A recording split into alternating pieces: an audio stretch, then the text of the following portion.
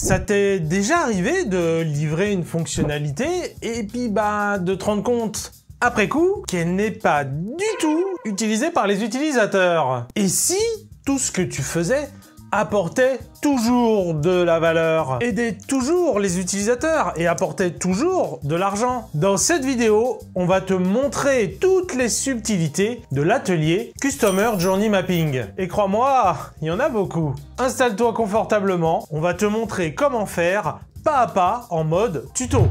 Selon une étude de Pendo, en moyenne, plus de 80% des fonctionnalités ne sont jamais utilisées ou alors très rarement. Bon, tu te dis certainement que chez toi, c'est pas le cas. Mais crois-moi, si, ça l'est, chez toi aussi. Et encore, hein, ça, cette statistique, c'est quand on le mesure, quand on prend la peine de regarder. Est-ce que toi, tu sais euh, réellement, factuellement, si tes utilisateurs utilisent vraiment la fonctionnalité que tu viens de leur livrer? Écris en commentaire là ce taux d'utilisation ou dis-nous si bah, toi aussi euh, tu regardes pas. Cet atelier est vraiment super puissant. On l'utilise souvent dans nos missions et notamment dans un méta-atelier qui inclut le Customer Journey Map et qui permet de partir d'une feuille blanche et de construire son backlog produit, tout ça en 3 heures, en une demi-journée. mesurer le taux d'utilisation, c'est bien, mais ce qu'on veut, c'est éviter de faire des choses inutiles, ou en tout cas de prioriser les choses les plus importantes. Le Customer Journey Map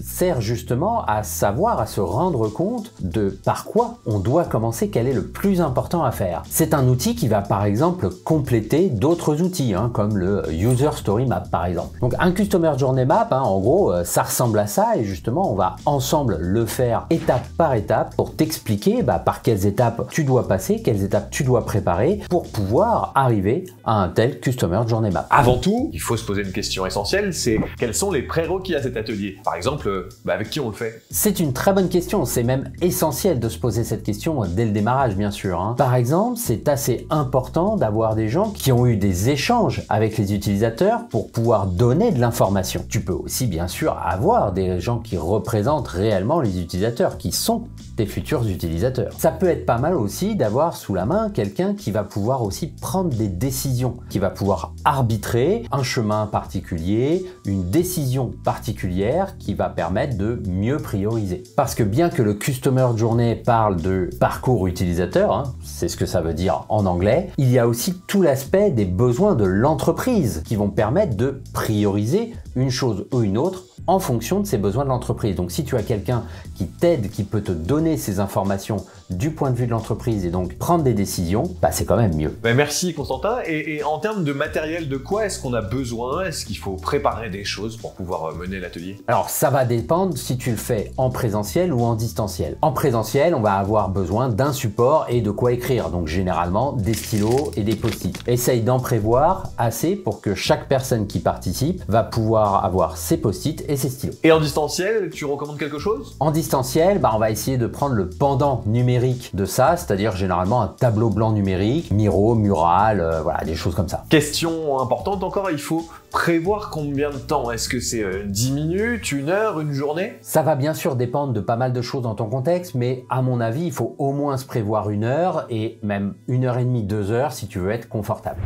Donc maintenant, on va commencer pas à pas, on va te montrer comment faire un Customer Journey Map. Ce qu'on te conseille, bah, c'est de le faire en même temps que nous, c'est-à-dire euh, au fur et à mesure qu'on fait chaque étape, essaye de le faire dans ton contexte, on va essayer de t'aider. Donc déjà, c'est quelque chose que tu dois faire. Quel est dans ton contexte le sujet duquel tu vas partir, quel est le problème de l'utilisateur? Par exemple, si ton produit est un produit logiciel, qu'est-ce qui va déclencher chez l'utilisateur le besoin d'utiliser ce logiciel? Ça, c'est la première chose qu'on va mettre dans notre Customer Journey Map. Ça peut être euh, un nouveau client passe une commande, un élève s'inscrit, bref, ça peut être plein de trucs. Et ce problème-là, dans notre cas, ça va être la machine à laver est cassée. Vas-y, on le fait ensemble. Écris le problème de ton utilisateur sur ton post-it. Voilà, donc la machine à laver est cassée, c'est le déclencheur, c'est le besoin de l'utilisateur. Ce qu'on te recommande, c'est de rester focus sur un type d'utilisateur qui a un problème. Dans la vraie vie, il y a plein d'utilisateurs et tous ces utilisateurs, ils ont plein de problèmes. Mais pour l'atelier de Customer Journey Map, vraiment, reste focus encore une fois sur un utilisateur et la chose qu'il essaye d'accomplir. Ensuite, on va faire un autre post-it juste à côté qui est un petit peu l'élément final, c'est-à-dire une fois que notre utilisateur a réalisé son parcours, bah, qu'est-ce qui se passe? Quelle est euh, l'action qu'il a? Bah en fait, euh, il peut refaire une nouvelle machine. Et ça, tu vas le demander aux gens qui participent avec toi. Bah voilà, quelle est la première étape Quelle est la dernière étape Et ensuite, tu vas leur demander, et alors tu vas leur laisser par exemple une dizaine de minutes pour essayer d'écrire quelles sont les étapes intermédiaires par lesquelles passent les utilisateurs. Donc moi, généralement, ce que je fais, c'est que j'éloigne les post-it, c'est quelque chose que tu peux faire aussi quand tu le fais en physique, bien entendu, et je crée, du coup, autant de post-it que nécessaire, si possible dans une couleur un petit peu différente pour montrer que c'est les étapes intermédiaires. Je vais en créer une dizaine, par exemple, pour les pousser un petit peu à aller dans le détail. Hein. On ne veut pas non plus des grandes choses. Il achète une nouvelle machine et puis il l'installe. Non, on veut que ce soit quand même beaucoup plus précis. Bon, petite astuce pour les gens qui ont un peu des tocs comme moi, c'est qu'on peut aligner tous les post-it, ils sont bien alignés et espacés exactement de la même distance. C'est formidable. Là, ton but, c'est de leur demander d'écrire le plus d'étapes possible. Ils peuvent en faire plus, bien entendu, qu'il y a entre ces deux choses. Et ce qui est intéressant, c'est qu'en fonction des personnes que tu vas avoir, ils ont une représentation du parcours utilisateur type qui est différent. Quelqu'un du support va connaître des choses que quelqu'un qui est au management ne va peut-être pas connaître, ne va peut-être pas avoir conscience. Et donc, en demandant à chacun de le faire dans son coin, et pas de le faire en groupe tout de suite, bah, ça va permettre de faire ressortir des choses auxquelles certains n'auraient pas pensé ou si on l'avait fait en groupe immédiatement, ça serait pas forcément ressorti. Donc une fois que chaque participant a fait sa petite euh, timeline, hein, sa ligne du temps du parcours utilisateur, on va justement les compiler tous ensemble. Donc tous les éléments qui sont redondants, qui sont en double, on va bien sûr n'en garder qu'un et tous ceux qui manquent, on va essayer de les placer au bon endroit. Généralement, ce que je fais, c'est que je demande aux participants, que ce soit sur le tableau blanc numérique ou sur un tableau euh, en physique quand on est en présentiel, eh bien de se lever et en silence de mettre leur post-it au bon endroit par rapport à la, timeline qui se crée au fur et à mesure. Et là, donc, on se retrouve avec une timeline principale qui est, bah voilà, par quelles étapes passe l'utilisateur pour accomplir ce qu'il cherchait à faire, c'est-à-dire faire une nouvelle machine de linge. Essaye de le faire aussi, hein. même si tu n'as pas de participants, bah essaye de le faire déjà par rapport à toi, ce que tu penses être euh, les différentes étapes du parcours. Ça peut permettre de t'entraîner et de pouvoir les challenger une fois que tu fais réellement l'atelier. Donc l'étape suivante, c'est de rajouter sur ce parcours utilisateur qui intervient sur les différentes étapes. Donc bien sûr, la première étape, bah, c'est le ou la cliente qui intervient. Mais par exemple, recevoir la livraison, bah, il va y avoir quelqu'un d'autre qui intervient. C'est par exemple le ou la livreuse. D'ailleurs, on va le voir un petit peu après que euh, recevoir la livraison, c'est peut-être un petit peu large et qu'il y a peut-être des choses à détailler dedans. Ouais, merci Constantin. Et aussi, comme tout outil, il faut l'utiliser. Elle doit vivre cette Customer Journey Map. Tu vas sans doute des fois voir qu'il faut ajouter des étapes, pourquoi pas en fusionner. Il faut l'utiliser sprint après sprint. Tu vas voir les sentiments de tes utilisateurs qui changent et donc il faut bien penser à la mettre à jour. En résumé, la Customer Journey Map, elle doit représenter ce qui a été modifié dans les derniers sprints. On doit aussi représenter dessus ce qu'on a envie de modifier dans les prochains. Quelques petits conseils maintenant par rapport à ces Customer Journey Map. C'est que généralement, on se retrouve assez facilement à se dire ah bah oui, mais là, si l'utilisateur il fait telle action ou telle action, il y a deux parcours différents qui émergent. C'est vrai, bien entendu. Mais je vais plutôt essayer de se dire, ok, mais on en choisit un et on se concentre dessus. Celui qui est le plus important ou celui qu'on veut dérisquer ou qui apporte le plus de valeur de façon générale à l'utilisateur. Pourquoi? Parce que si on commence à faire le Customer Journey Map sur tous les embranchements possibles de l'utilisateur, bah en fait, on n'a pas fini, quoi. On va passer des semaines, des mois à faire ça avant de commencer le moindre truc. On peut le noter, ok, là, il y a un embranchement, mais qui aura peut-être son propre Customer Journey Map. Et donc, c'est aussi un des avantages du tableau blanc numérique, c'est qu'on peut très bien en avoir plein ou les multiplier, copier les fichiers, bref, on peut vraiment euh, avoir autant de place qu'on veut par rapport à un mur en physique où forcément bah, on est limité par la physique. On arrive ensuite dans une seconde phase. La seconde phase, c'est de représenter le sentiment, le ressenti, positif ou négatif, de tes utilisateurs en phase de chacune de ces étapes. Reprenons notre exemple. Dans notre exemple, on a représenté avec des smileys tout simplement que tu peux trouver sur les différents outils de management visuel, Miro, Mural, etc.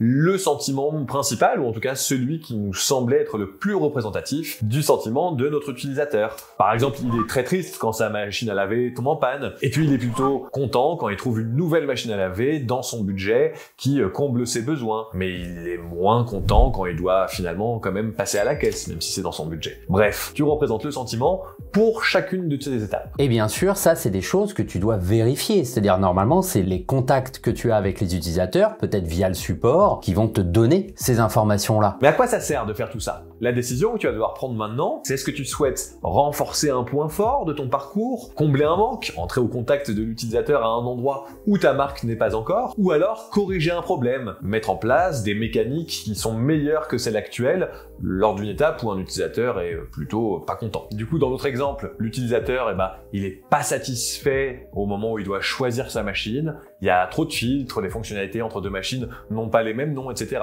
Et donc il a une expérience actuellement négative. La question qu'on va se poser, c'est comment est-ce qu'on peut rendre cette étape-là positive pour lui? Comment est-ce qu'on peut proposer peut-être des nouvelles choses pour qu'il se sente mieux dans le fait d'accomplir cette étape Alors un petit conseil hein, pour savoir quels sont les problèmes à résoudre en priorité. Garde en tête que le but du jeu, c'est de faire en sorte que l'utilisateur puisse aller du début à la fin de la Customer Journey Map, le plus tôt possible, le plus vite possible. Donc les problèmes les plus critiques sont en premier lieu ceux qui empêchent tout simplement l'utilisateur d'aller d'un bout à l'autre de la chaîne. Si par exemple nous avons une boutique dématérialisée sans moyen de paiement, bah, il serait impossible de se procurer une machine à laver autrement que sur notre site. Il est donc nécessaire, indispensable d'avoir cette fonctionnalité. Il serait inutile de travailler dans un premier temps sur par exemple les filtres permettant d'aiguiller son choix, puisque de toute façon, il ne pourra pas payer. En revanche, si nous avions des boutiques physiques, en plus de notre site, on peut se dire que l'utilisateur peut choisir l'article en ligne, puis payer et être livré en magasin. Autrement dit,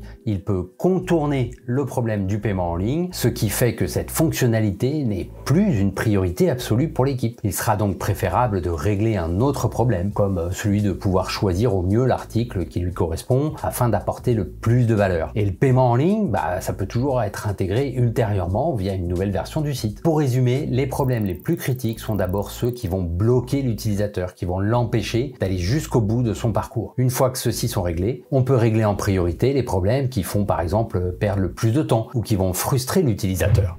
Donc toi, fais-le là pour ton produit en même temps. Quelles sont les étapes pour lesquelles l'utilisateur n'a aucun contournement ou alors que ce contournement est vraiment trop pénible? L'étape suivante par rapport à ça, qu'on va pas forcément aller dans le détail dans cette vidéo pour pas prendre trop de temps, c'est de faire le user story mapping. C'est-à-dire pour chaque action, chaque étape du parcours, on va pouvoir les découper, les définir en user story. Donc par exemple, pour filtrer les machines en fonction de ses besoins, quelles sont les actions que va faire l'utilisateur. Et donc là, on va pouvoir les écrire avec le format user story. Hein. Et là, généralement, ce qui est bien, c'est qu'on reprend le type d'utilisateur qu'on a mis juste au-dessus. Donc là, par exemple, en tant que client, afin de trouver le modèle qui correspond à mes critères, et ben là, le je souhaite, c'est techniquement euh, l'étape sur laquelle euh, on met la user story. Donc je souhaite filtrer les machines en fonction de besoins spécifiques. Donc là, on se retrouve avec effectivement un user story mapping